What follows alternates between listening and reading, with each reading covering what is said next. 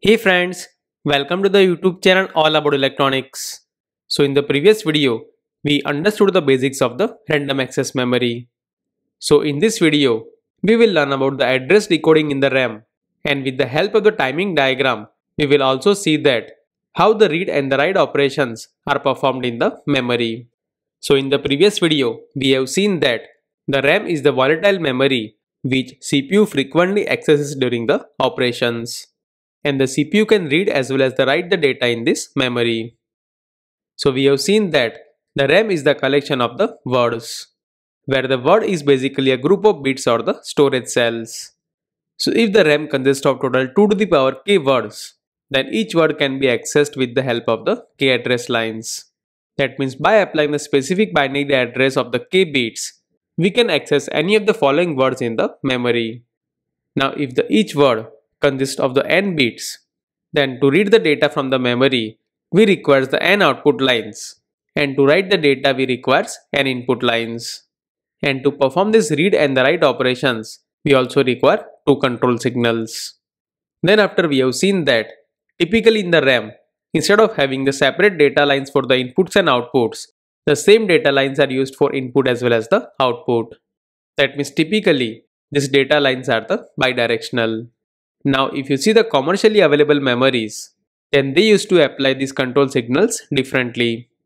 So instead of having the two separate control signals for these read and the write operations, they have a one control signal for selecting the memory and a one control signal to select the operation.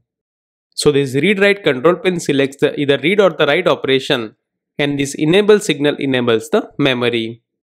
Now the need for this enable pin is that sometimes a multiple memories are connected with the CPU and with the help of this enable pin it is possible to select the specific memory during the operation. So whenever this enable pin is 0 then the memory chip will get disabled and the irrespective of the value of this read write control signal the no operation is performed on the memory. So whenever this enable pin is 1, then the memory will get enabled. And in this condition, depending on this read-write control pin, the memory will perform either read or the write operation. So whenever this read-write control signal is equal to 1, then the memory will perform the read operation. And based on the address on this address line, the memory will read the data from the specific word. Similarly, when the enable signal is high, and whenever this read-write control signal is equal to 0, then the memory will perform the write operation. And depending on the address on this address line, the memory will write the data in the specific word. So now, let us see when the read and the write operations are performed, then in what sequence these different signals are applied to the memory. And let us understand it with the help of the timing diagram. So to perform the read operation, first the address corresponding to the specific word from which we want to read the data is applied to the memory. Now once this address line gets stable, then to enable this memory, this enable signal is applied. And then to read the data from the memory, this read signal is applied. So if we see the timing waveform, then this is how it will look like. So as you can see, to perform the read operation, first the address signal is applied. So as you can see, once the address signal gets settled, then this enable signal is applied. And once this enable signal is also get settled, then this read signal is made high. And as soon as we made this read signal high, then the read operation will be performed in the memory. So after some delay, the valid data from the memory will be available on the output. And once it is available, then the CPU can read this data. So once the read operation is performed by the CPU, then this enable signal is made low and until this enable signal gets deactivated, both address and the data signals should remain stable for the short time. So this time between the valid address is applied to the memory and the time when the valid data is available on the output is known as the access time of the memory. And during this memory operation, the time after which the next valid address can be applied to the memory to perform the next read or the write operation is known as the cycle time. So that is how the read operation is performed in the memory. So similarly, for the write operation, now let us see the sequence in which these different signals are applied to the memory. So once again, the address signal corresponding to the word into which we want to write the data is applied to the memory. Then after, the data which we want to write into the memory is also applied on the data line. And once it is applied, then the memory is enabled. And then after, the write signal is applied to the memory. So this is the timing diagram for the write operation. So as you can see, first the valid address signal is applied to the memory. And similarly, the data which we want to write into the memory is also applied to the data line. So once these signals get settled, then the memory is enabled. And after some time, the write signal gets activated. So here, since the write signal is active low, so after some time, it is made logic low. So once the write signal is activated, then after some time, the data which is available on the data bus will be written in the memory at the specific location. So here as you can see, at this time, the data is latched in the memory and as soon as it is latched, then this write signal gets deactivated. And once it is deactivated, then after some time, this enable signal is also deactivated. So until this control signal gets disabled, this address and the data signals should remain stable. And once these signals are disabled, then after the short amount of time, the new address can be put on the address line. So that is how the read and the write operations are performed in the memory. But now, let us see the logic circuit which can actually perform this read and the write operations in the memory. Now we know that the memory is the collection of the storage cells which is often referred as the binary cell. And we know that this binary cell stores the 1 bit of information. So here, to understand the internal construction of the RAM, we will see the logic circuit of the one binary cell. And during our further discussion, we will represent this logic circuit by this small block. So as you can see this block, the binary cell has the 3 inputs and the 1 output. So as you can see, this select pin enables the binary cell. And once the binary cell is selected, then based on this read-write control signal, either read or the write operation will be performed on the binary cell. So whenever this write operation is performed, then the data from the data line is put on the binary cell. And whenever this read operation is performed, then the data from the binary cell is sent as an output to the data line. So this is the corresponding logic circuit for this binary cell. So here, the storage part of the binary cell is modeled using the SR latch. So in reality if you see, then this binary cell is the collection of 4 to 6 transistors which holds the 1 bit of information. Or simply it can be a charged capacitor which holds the 1 bit of information in form of charge. But here for the simplicity, it is modeled using the SR latch. So basically, it is a logic circuit of the binary cell to understand its working. So now in this circuit, when the select input is 0, then the latch will remain in the same state. Because at that time as you can see, both S and R inputs are 0. Therefore, the latch will remain in the same state. And whenever the select input is 0, then as you can see, this output will also remain 0. So now, when the select pin is logic 1, then the latch will get enabled. And depending on this read and the write signal, either input will be stored in the latch or the data which is stored in the latch will be put on the output side. So whenever this read write control signal is equal to 1, then as you can see, the read operation will be performed. So in this condition if you see, then the output of this NOT gate is equal to 0. And therefore, both S and the R inputs will remain 0. That means in this condition, the latch will remain in the same state. But now, the output of this latch will be available on the output side. Because as you can see, this write signal is 1 and similarly, the select signal is also equal to 1. That means the output of this AND gate will be equal to Y. Or in other words, the output of this SR latch will be available at the output side. So in this way, when the read-write signal is equal to 1, then the read operation is performed and the data on the cell is put on the output side. Similarly, when this read-write signal is equal to 0, then this output will also remain 0. But now if you see, then the output of this NOT gate is equal to 1. So now, when this input is equal to 1, then the S is equal to 1 and the R is equal to 0. And in this condition, the 1 will be stored in this SR latch. Similarly, whenever this input is equal to 0, then the S will be 0 and this R is equal to 1. So now, the 0 will be stored in this SR latch. So in this way, when the read-write signal is equal to 0, then the write operation is performed in this binary cell. So that is the logic circuit corresponding to the one binary cell. Now like I said earlier, in the memory, typically the same data lines are used for both input as well as the output. So in this case, using the bidirectional buffer, the same data lines can be shared between the input as well as the output. So as you can see, when this read signal is equal to 1, then this lower buffer will get activated. And now, the output on the binary cell will be available on this data line. That means in this condition, the CPU can read the data from this data line. And at that time as you can see, this top buffer will remain deactivated. And therefore, the content on the data line will not reach on this input side. On the other end, when the read signal is 0, then the top buffer will get enabled and the bottom buffer will get disabled. So in this condition, whatever data that is available on the data line will be available on this input side.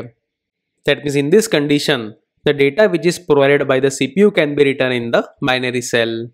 So that is the overall logic circuit for the one binary cell. Now we know that in the RAM, the group of binary cell makes the one word and the RAM consists of multiple such words. So depending on the select input, the specific group of binary cells can be selected in the memory. So to understand how this select input selects the specific group of binary cells, let us take the example of small 16 cross 4 size RAM. It means that it consists of total 16 words and the word length of the each word is equal to 4 bits. So as you can see over here, the group of 4 binary cell makes the one word. So here, with the help of the decoder, or to be precise, with the help of the 4 to 16 decoder, we can select any one of the 16 words. So as you can see over here, the select input of all the binary cells which are in the same word are connected together. Moreover, if you see, then here we have a 4 input lines as well as the 4 output lines. And again, using the bidirectional buffers, these 4 lines are shared with the data lines. So here as you can see, the binary cells in the same column are sharing the same input and the output lines. And here the read-write signal is applied to the all binary cells. So now let us see how the specific group of binary cells are selected and how the read and write operations are performed in this memory. So let's say the input of this decoder or this address is equal to 0010. So as soon as this enable signal is applied to the decoder, then this decoder will select the second word. Or in other words, all the binary cells corresponding to the second word will get enabled. Now let's say we want to perform the read operation. So for that, this read signal will made logic 1. And here, since the second word is selected, so only that word will respond to this read signal. And now, the each binary cell in the second word will put the data on the output line. So similarly, on the same word, Suppose if we want to write the data, then instead of 1, the 0 will be applied to this control line. So as soon as we apply the write signal in the memory, the RAM will accept the input data and each binary cell in the second word will store the corresponding data that is available on the input line. So that is the internal construction of the RAM and with the help of the decoder, these addresses are decoded and the read and the write operations are performed in the memory. So if you have followed the earlier videos of the decoder on the channel, then you must be aware that if we have a 3 to 8 decoder with the enable input, then it requires the 8 AND gates. And the each AND gate will require the 3 inputs for the input line as well as the one more input for this enable pin. So in general, if we have a k input decoder, then it requires total 2 to the power k AND gates and the each AND gate will require total 2 to the power k inputs. So as the number of words in the memory increases, then the required size of the decoder will also increase. And because of that, the complexity of the decoding logic will also increase. So typically, to avoid this problem, the coincident decoding is used in the memory. So in this two-dimension decoding, the memory cells are arranged in a such a way that the cell arrangement remains very close to the square structure. So here, instead of using a single k input decoder, two k by 2 input decoders are used. For example, if we take the 1k word memory, then to decode this memory, we require the 10 input decoder. But here in this coincident decoding, instead of using a 110 input decoder, the two 5 input decoders are used. So basically, here this 10 bit address is divided in the two parts. The one part is given to the row decoder which selects the specific row and the second part of the address is given to the column decoder which selects the specific column. So based on these two addresses, the specific row and the column will get selected. And at the location where this row and the column coincides, that location will get selected. So here, the each dot represents a specific word in the memory. For example, if the input to the row decoder is equal to 11110, then it will select the second last row. Similarly, if the input to the column decoder is also equal to 11110, then it will also select the second last column. And accordingly, this word where both row and the column coincides will get selected. So once again, here the each word will have the n number of bits. So in this case as you can see, it consists of the 8 bits. So in this way, using the coincident decoding, we can simplify the decoding logic. For example, for this 1k word memory, if we have only single 10 input decoder, then we require total 10 to 4 AND gates. But in this case, in this coincident decoding, we require only two 5 input decoders. And as you know, the each decoder will have total 2 to the power 5 AND gates that is equal to 32 AND gates. And in total if you see, then it will require only 64 AND gates. That means with the help of the coincident decoding, the decoding logic will get simplified. So in the actual RAMs, because of their very large capacity, this address decoding is arranged in the two-dimensional array. And for even larger memories, multiple such arrays are used. Now in the large memories, to reduce the pin count of the memory package, the address multiplexing technique is used. So let us understand that with the help of one example. So in this case as you can see, the total number of words in the memory is equal to 1024. That is equal to 2 to the power 5 times 2 to the power 5. But let's say we have a memory which has total 64k words. So this 64k is equal to 2 to the power 16. That is equal to 2 to the power 8 times 2 to the power 8. So for the coincident decoding, we will require two 8 input decoders. That means here, we will require the 8 address pins for the row decoder and the other 8 pins for the column decoder. That means in this case, we will require total 16 address pins for the address decoding. But suppose we do not have that luxury, then we can reduce the number of pins by using the address multiplexing. So in this address multiplexing, the address is applied in the two different steps. So first, using the 8 pins, the row address is applied and then using the same 8 pins after some time, this column address is applied. So now, instead of total 16 pins, we will require only 8 pins for the addressing. And in this way, it is possible to reduce the pin count of the memory. So let us see how this technique is carried out. So once again, here we are considering the 64k word memory. That means here for the coincident decoding, we will require the two 8 input decoders. So as you can see, here the each decoder has its row address and the column address register. And these 8 address lines are shared between the two registers. So here we also have the two more control signals that is CAS and the RAS. So this RAS stands for the row address strobe while the CAS stands for the column address strobe. So here First, the 8-bit address corresponding to this row address decoder is applied. And then this row address strobe signal is activated. So in this case, since it is active low signal, so it will made low. That means now this 8-bit row register will get enabled and this 8-bit address will get latched into this register.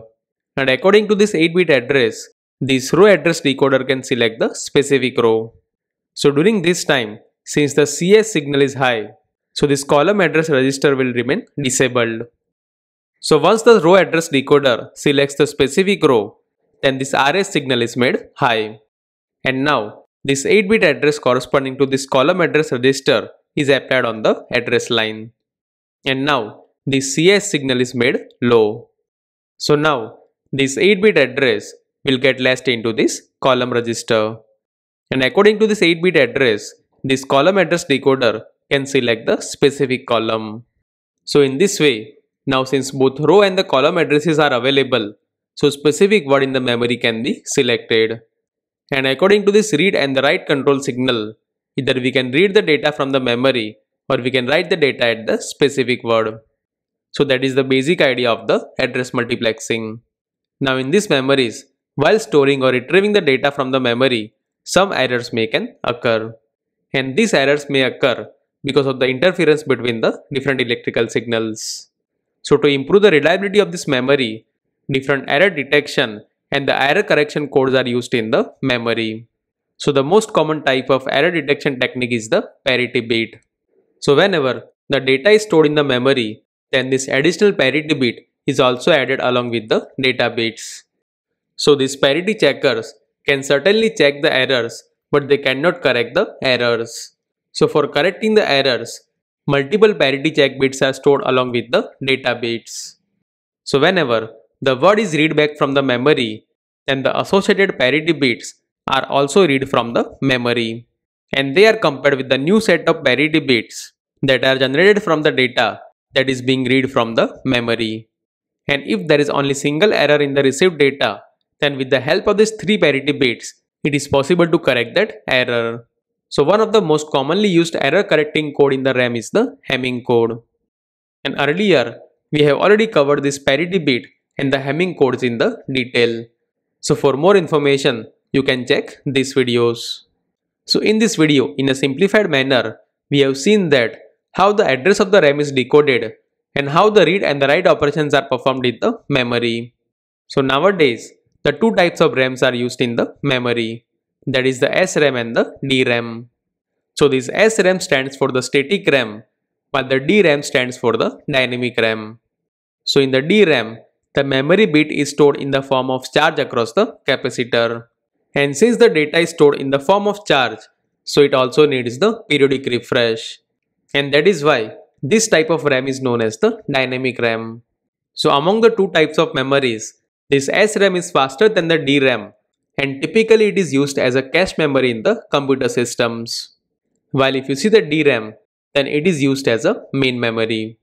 So earlier, I have already made a video for this SRAM and the DRAM, where I have covered the differences between the two types of RAMs and also covered the internal structure of these two RAMs.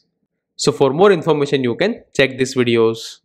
But I hope in this video you got the basic idea how the read and write operations are performed in the memory and how the address decoding is carried out. So if you have any question or suggestion then do let me know here in the comment section below. If you like this video, hit the like button and subscribe the channel for more such videos.